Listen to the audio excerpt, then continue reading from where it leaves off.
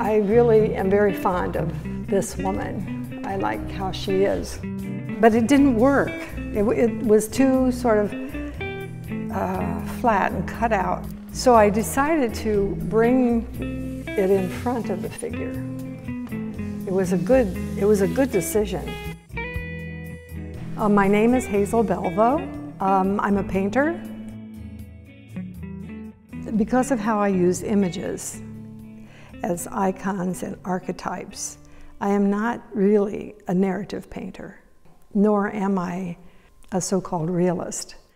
I guess I would call myself more as, in the nature of my paint, an expressionist.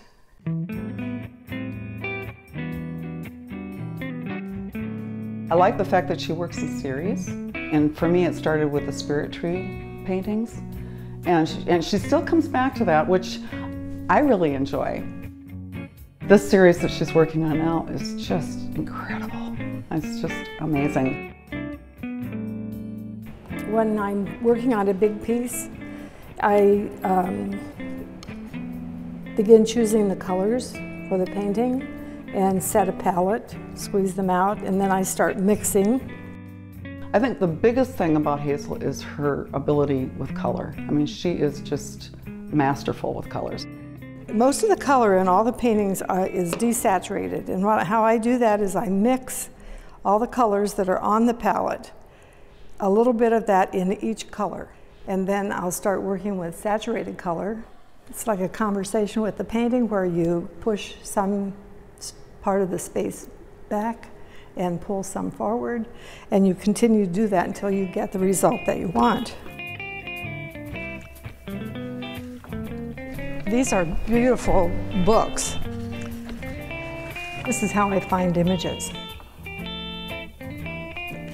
If I draw all the time and then look at them carefully, then images will, it'll give me a place to start in the bigger work. This corner doesn't move, doesn't go back and forward like that corner. And I need to I need to put some dark in here. Maybe this is coming forward. See, this is more saturated green than what's behind it. So it should come forward. For me, all the reading I do and the thinking I do, and it all comes out in the work. I think that's the important thing, is that you let it be who you are. You don't manipulate it and be something different.